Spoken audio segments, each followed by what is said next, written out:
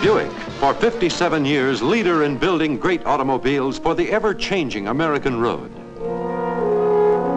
From 1904, stepping out at a spanking 10 miles an hour, the daddy of them all, first production model Buick. From 1910, rolling merrily along as Buick's peppy four-cylinder engine eats up the miles.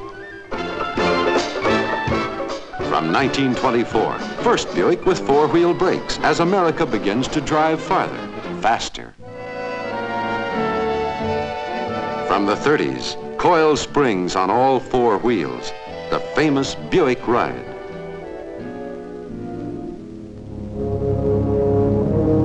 From the 40s, gas rationing, carpools, and Buicks built to last that got you through the war years.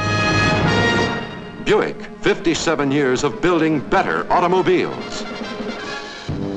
And now, to meet the challenge of the 60s, Buick's all-time best, the turbine drive Buick 60. Buick built for 1960 driving. Out in front with turbine drive transmission for the smoothest takeoff into motion on the road.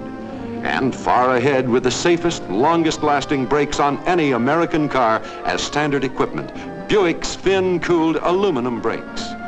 There's never been a Buick to equal it. For the ride, the comfort, the luxury, the reliability of the automobile built to set the pace of the 60s, this is Buick's all-time best. You can say that again, Spoon Nose.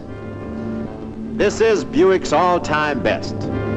See it, drive it. Now's the time to see your Buick dealer and take a turn in a turbine drive Buick 60.